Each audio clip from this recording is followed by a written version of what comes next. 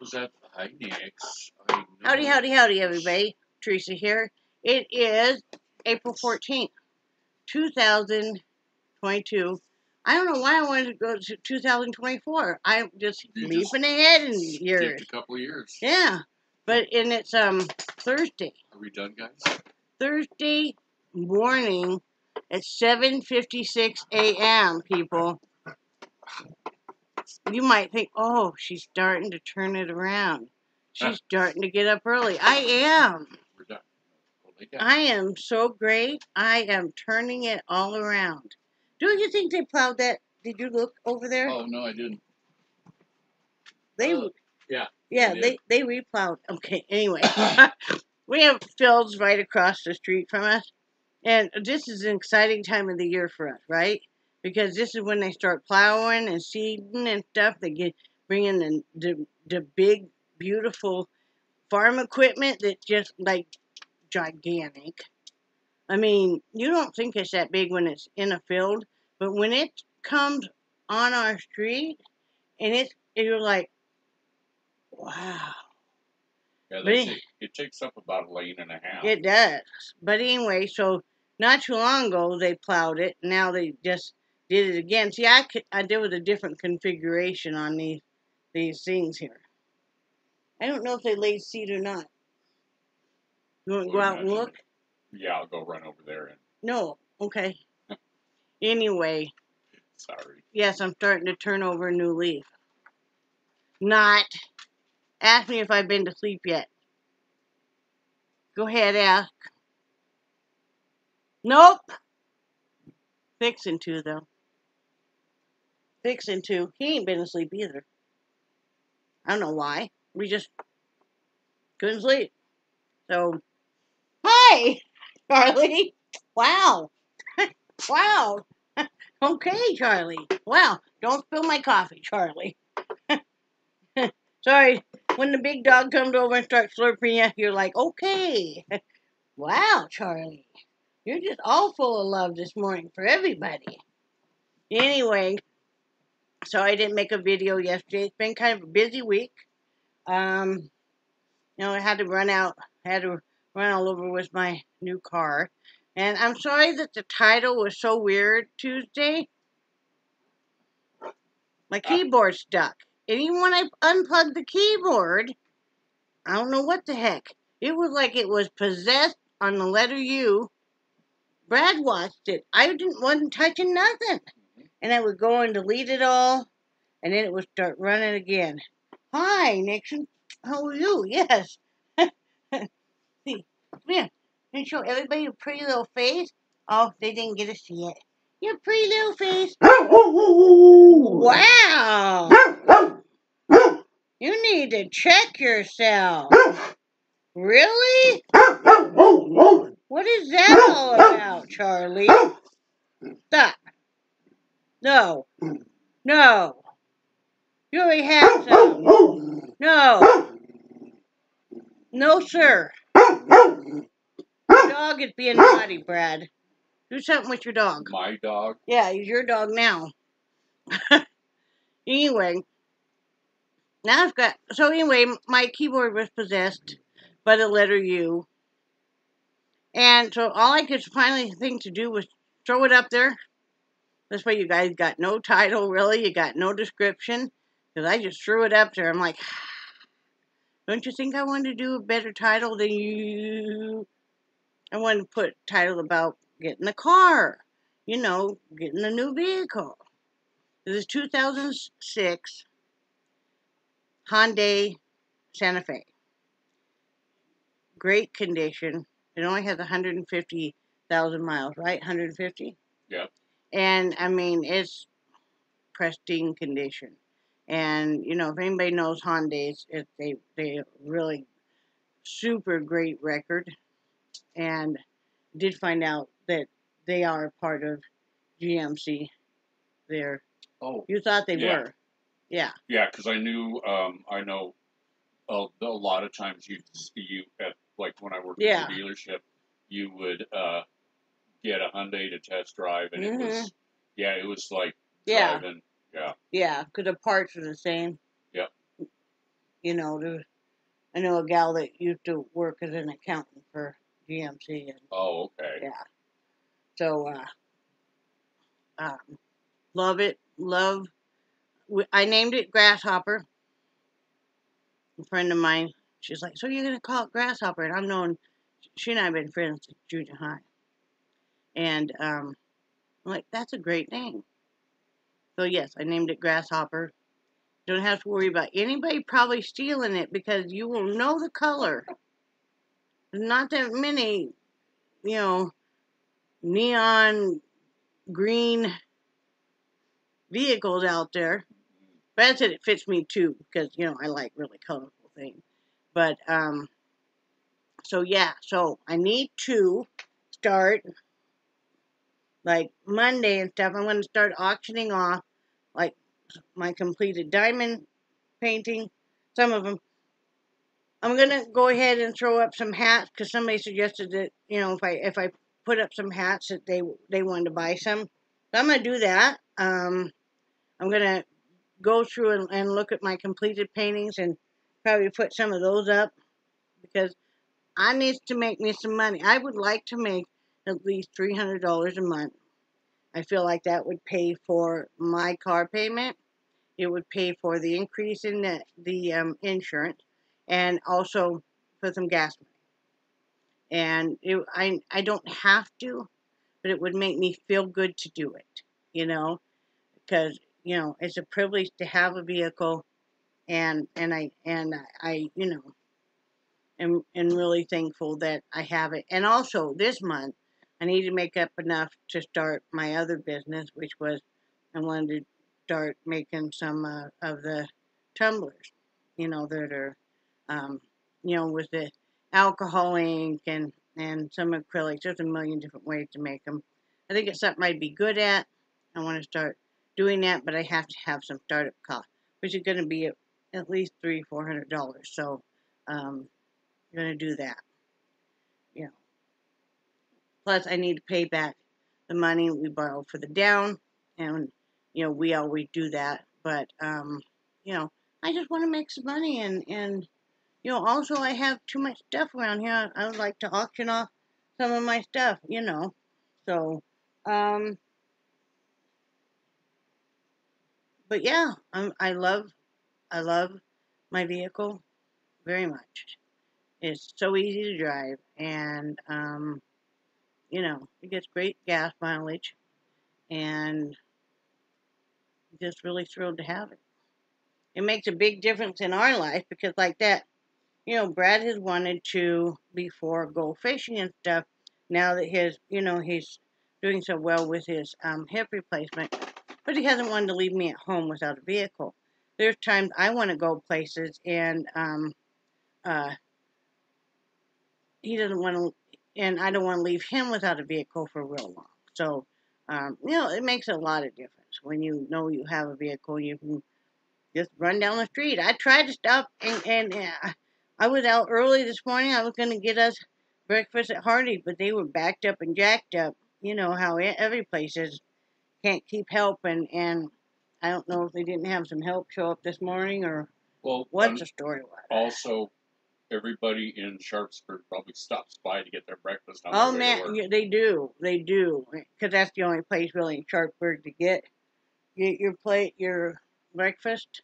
So, yeah, so I did not get breakfast there because for Brad and I because I turned around and came back home. I'm like, nope, it was double parked and that line was not moving. I was in it for a while, you know. Jellybean, Jellybean, hey, what are you doing, girlfriend? What? Find a different hobby, girl. Okay? What, what's your new hobby? Am I your new hobby now? Well, come here then. Well, come here. Come on. Come here. Come on. Oh my goodness. What? What? you gonna show everybody your your your groom? Show. No, you're not gonna show anybody your face, are you? Here, show everybody your little face. Here's my little face. Right? Right, Jelly Bean? Are you okay now? Hmm? What? What? What, are you okay now? I know. See? See, everybody missed seeing you. I haven't seen you for a few days, girlfriend.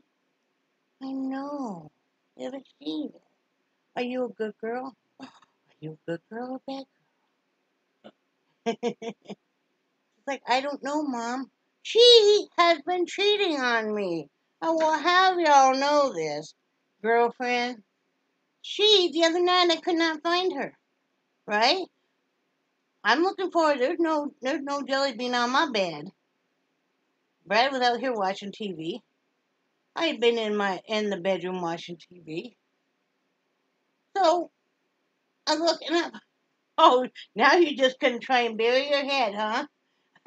but so I asked Brad, I'm like, where's Jelly Bean? She's out here on my lap. She came out here. No, I'm telling the story. Don't try to act like you didn't do it. She came running out here, and when she decides she wants to help you uh, on you, she just you're just gonna get a dog all of a sudden right on you. She came and jumped up on his chest and made herself a nest on his lap. I'm like, really? You cheated on me, Jellybean. Wow, really? okay. You're too silly. You're too silly about that. I never knew pools. Pools? Poodles were so expressive with their with their paws and stuff, right, Jellybean? What are you looking at Dad for? He can't save you now. No, it's it's yeah, you should be. I can't do you anymore. You're too funny. What? Are you just are you hammering it out for everybody? Can I talk about how you cheated on me again? Nope.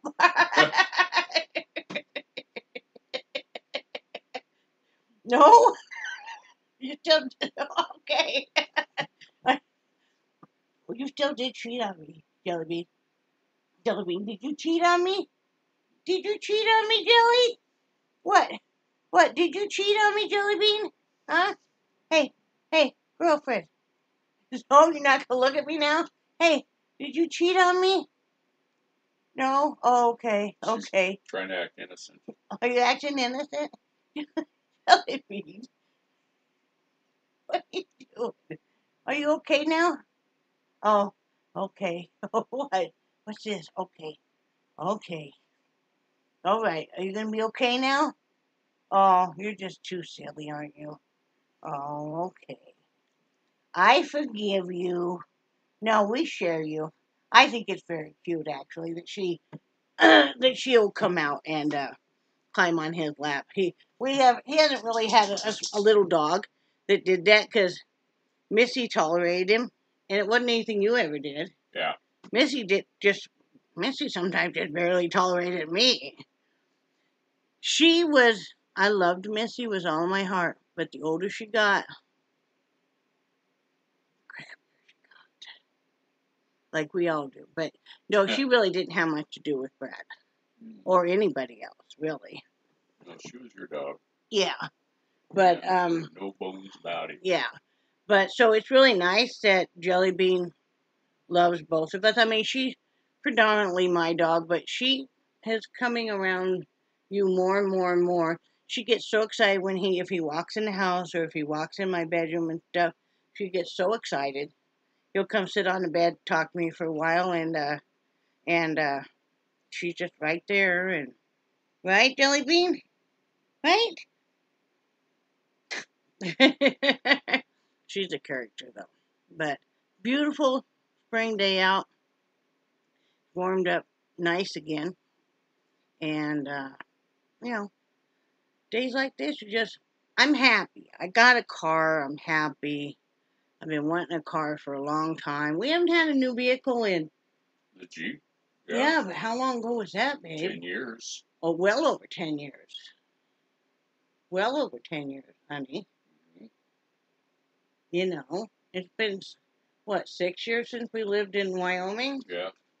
We had a. You worked at dealership how long?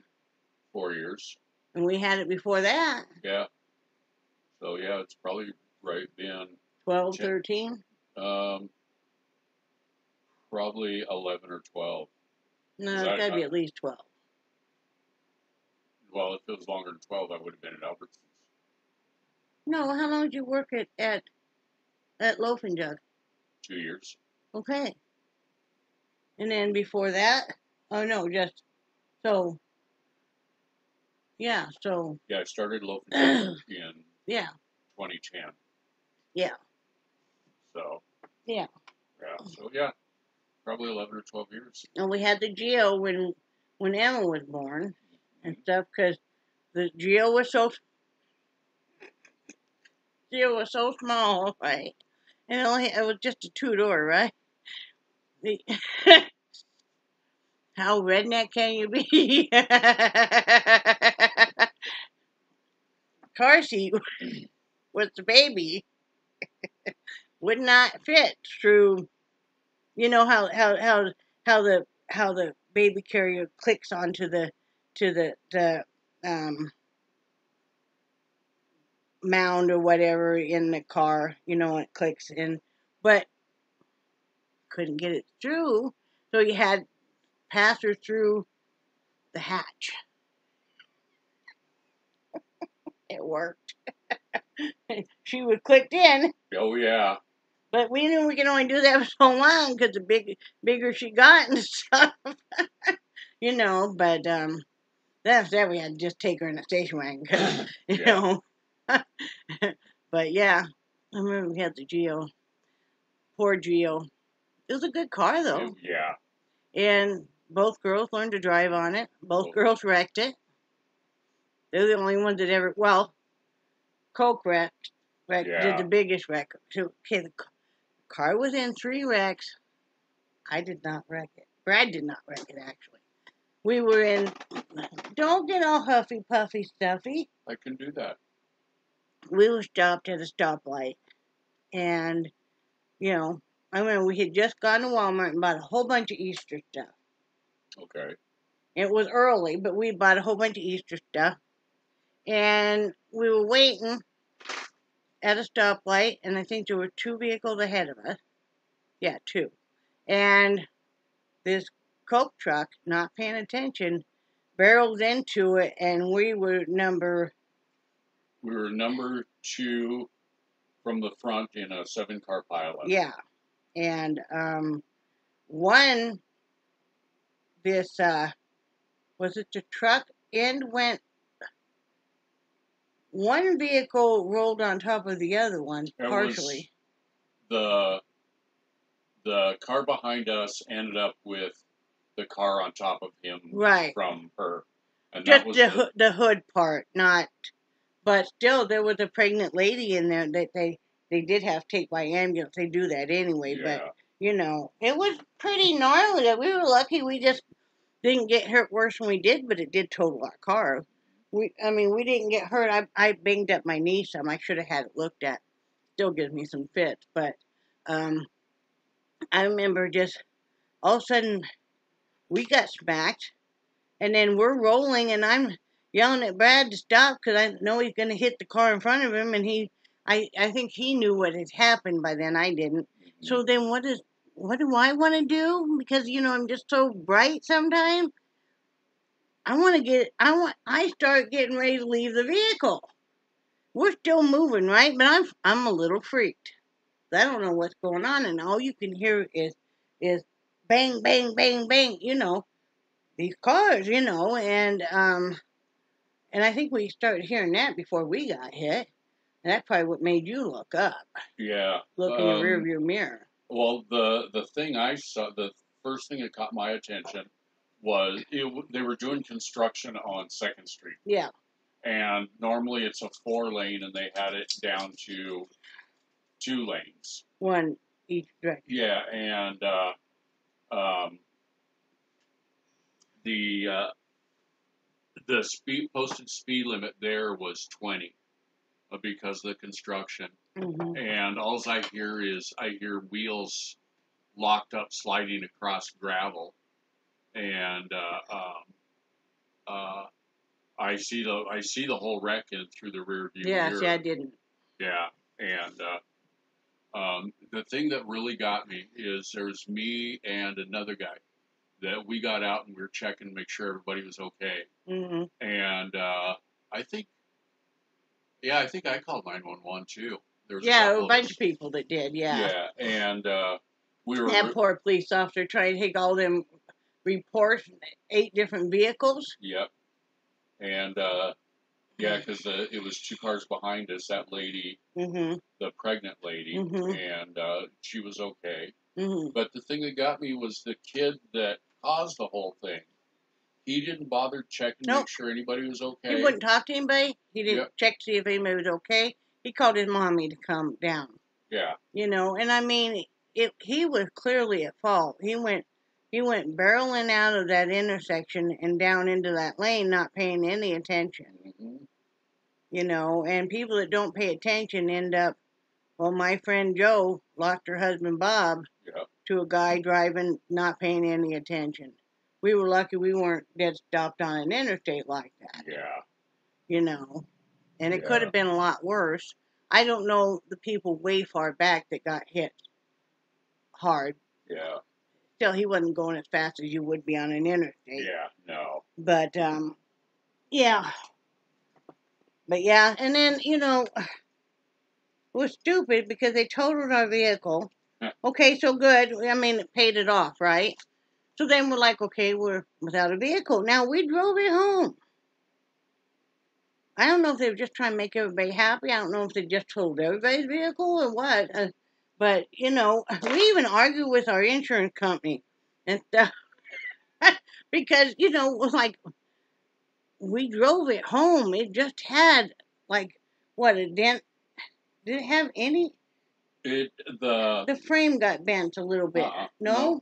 it had uh, the rear bumper was dinged up, and when you opened up the hatch, you could see a little bit of damage on the inside, and then the uh, front bumper was dinged a little Mhm. bit, and I took it, I took it to a body shop that Mhm. was uh, um, probably the best in town. I mean, the, they're most honest, Anyway, and uh, they don't care about that. no, right? and he put he uh, the estimate he gave was like about fifteen hundred dollars, and then uh, uh, Coca Cola's insurance company they estimated the damage at over five thousand. Mm-hmm. So they they did they ended up totaling You it totaled it, and then we bought it back for what? hundred dollars. Hundred dollars, and we drove it, and drove it, and drove it, and drove it, and drove it. And drove it. I mean, when our oldest daughter wrecked, was the first one to wreck the Geo, and because she had way too many kids in there. Oh, Now, Lord. okay, you can take mom's car to school. I'm being nice, right? You can take mom's car to school. Don't leave it. Don't. You're only going to school, coming home. Don't be going on lunch. Don't. They went on lunch. They piled as many butts in that car as they could. They had about two too many butts in that car, at I least think they had seven people seven. Oh, so they had three too many Yeah. people in that. One gal, and and we just love this gal. She was African American, and she used to wear her hair pretty far picked out, right? And I mean, it's super thick. Thank goodness, because this child, I think, was sitting on top of somebody else's lap, and when my daughter hit the back end of, of somebody right in front of her, her her head hit that windshield. It didn't hurt her, thank goodness, because she had all that hair. It cracked the windshield and everything. I mean, you could see. And I was like, oh my God. My daughter called called me up. I have to tell you something, but I don't want to tell you. And she's just hysterical. And I'm like, what? I don't want to tell you. I'm like, what? I wrecked the car. What? so you happened to be home. Yeah. We went there, and then the police officer.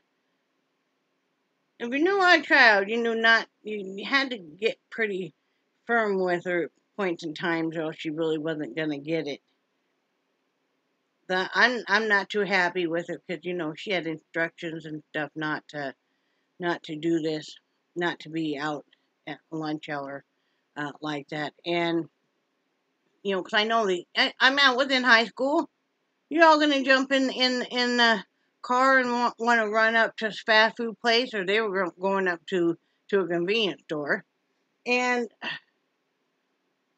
so I'm, I'm not happy with her all. And, and the police officer's like, no, it's okay. You know, these kind of things happen. I'm sure you've learned your lesson. I'm like,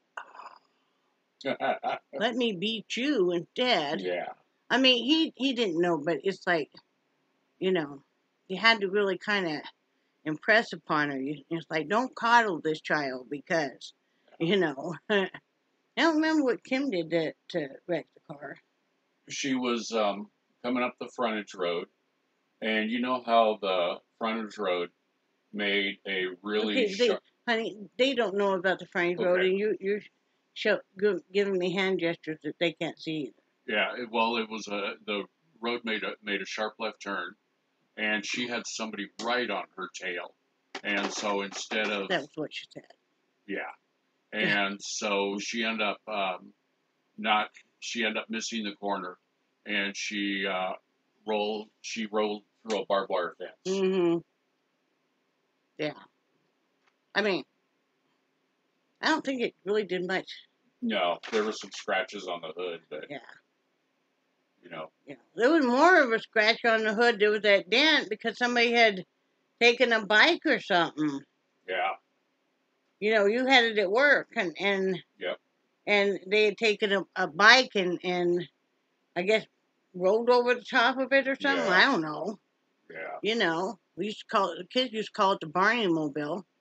You know, but um, as we haven't had a new vehicle in in a number of years, we tend to get a vehicle and and you know drive it to death, pretty much. Yeah, we I, on average we keep them at least ten years plus. You know, yeah. because we've had we haven't had that many vehicles all the years we've been married. We've had let's see, one, two.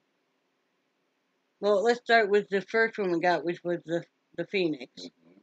and then we got the Taurus, the station wagon, right? Mm -hmm.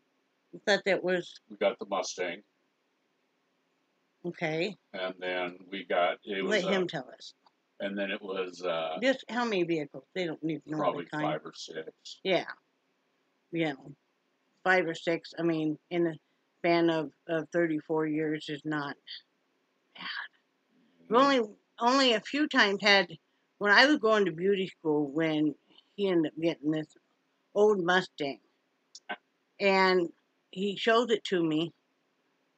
And you just about sat on the ground. You know how Mustangs are.